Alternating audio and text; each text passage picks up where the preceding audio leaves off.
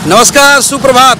हम हैं आज छत्तीसगढ़ का हृदय कहा जाने वाला राजधानी से 175 किलोमीटर के 172 किलोमीटर की दूरी पर स्थित जहांगीर चांपा।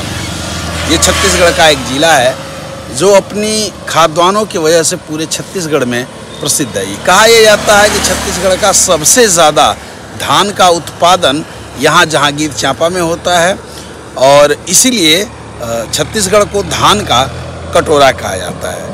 ये हसदेव नदी है जो यहाँ के 75 परसेंट भूभाग को सिंचित करती है। आप देख सकते हैं, आज यही रहेंगे। आज लगभग दो से 300 किसानों की मीटिंग है। जैसा कि बताया गया है, अब हम चल रहे हैं मीटिंग के लिए। किसानों की आज बड़ी मीटिंग है। चांपा में क्योंकि किसानों की मीटिंग है तो गाँव में है तो चल रहे हैं। आज मीटिंग करेंगे दोस्तों। यहाँ देखिए, अंदर हमारी मीटिंग थी। बहुत बढ़िया मीटिंग गई, लेकिन यार क्या था कि जो है लाइट चली गई थी तो पूरा गर्मी गर्मी पूरा देखिए, शर्ट भीग गया है। बहुत बढ़िया था कार्यक्रम। बहुत अच्छे लोग थे। हम आ गए छत्तीसगढ़ से, अब निकल गए हैं। छत्तीसगढ़ में हैं और चांपा से अब निकल गए हैं, ये देखिए।